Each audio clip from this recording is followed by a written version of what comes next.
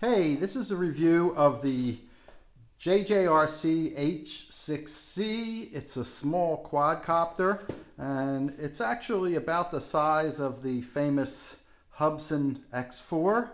Uh, this particular quadcopter comes with a small camera and there's an SD card that's right here. That's what captures your photos or your videos. Uh, it comes nicely packaged in this small box. We actually bought two of them because the price at Banggood was 50% off and came to some ridiculously low price. So I bought two in order to have uh, an extra battery and some extra propellers and extra motors and extra parts. So it comes complete with the unit. There's a battery installed in there. Here's the battery separately along with the charging cable. This is one of those USB cables that the um, light in it will light when the battery is fully charged. You can sometimes find these the other way where it lights when the battery is not charged. But this one, uh, the light will come on, the red light inside this USB when the battery is fully charged.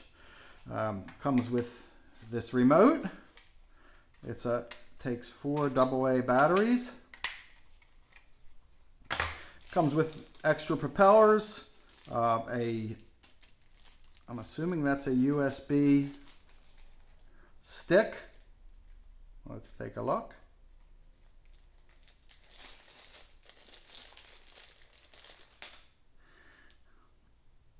Sure enough, a USB stick for the memory card.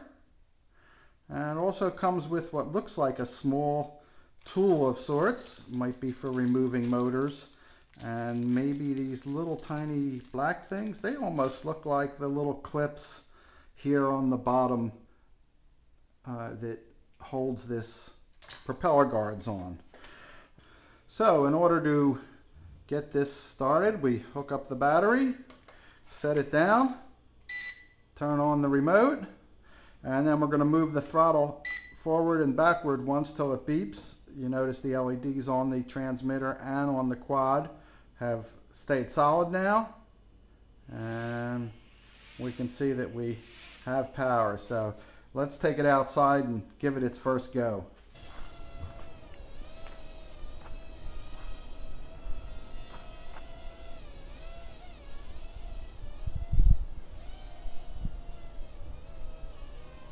Seems very stable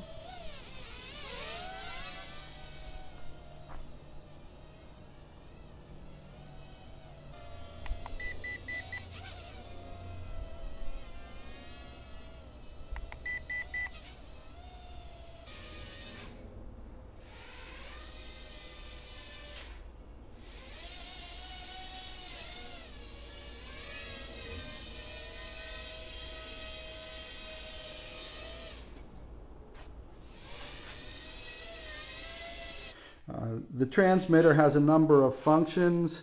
Uh, the taking video or pictures is done with this left cross, the top one. That takes a single picture and the bottom one will take constant video.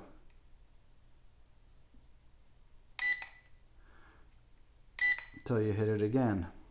Uh, the other crosses are used for trimming. Uh, the quadcopter this button on the left is for your 360s. It will stay in that mode until you actually do do a 360.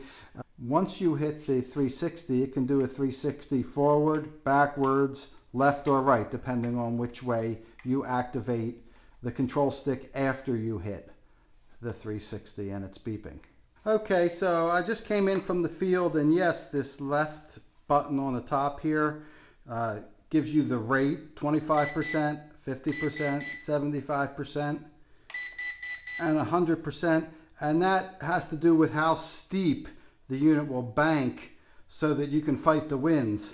If you're fighting any type of decent wind, you're going to want it on at least 75%. If you're indoors, it's going to be fine at 50% or even at 25%.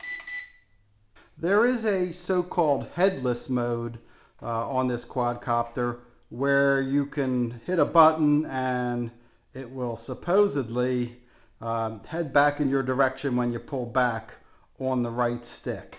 Uh, I have found that the headless modes in these type of toy quadcopters is really good for nothing. I wouldn't recommend it. Uh, the best advice I can give with a smaller quadcopter like this is just keep this thing within 50 or 70 feet of you. Don't fly it around a lot of trees or buildings or you will quickly lose it. Uh, all in all, I like this quadcopter. Uh, it's basically very similar to a Hubsan X4, just a little bit more refined. And it does have the video and the still camera with it.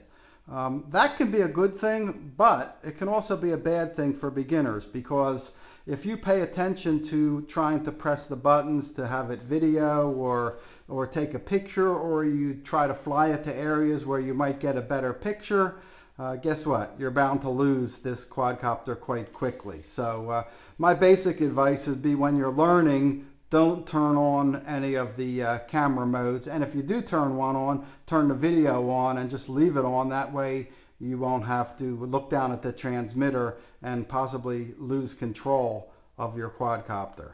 Uh, I also took it way up in the sky, maybe 200 feet high at a park. I'll see if we have a little video from there and uh, the wind was quite strong. It blew away, but lo and behold, I walked a couple hundred feet and I turned the transmitter on and listened for it, and there it was uh, upside down near some railroad tracks in the dirt. Um, I replaced the propeller, blew out the motors a little bit, and now it seems to run good as new. So we know that it can take a fall from a couple hundred feet. So would I recommend this quadcopter? Sure. The idea is get it for the best price possible at a price of less than $40. I think it does make a good beginner or intermediate quadcopter. Definitely you're going to want to leave the protector on if you're flying around inside or if you're pretty new to all of this. Um, definitely get a lot of spare parts. You're definitely going to need more propellers. And if you can find a good deal on it like I did, uh, maybe just buy two of them and that way you'll have plenty of spare parts and an extra battery. Enjoy.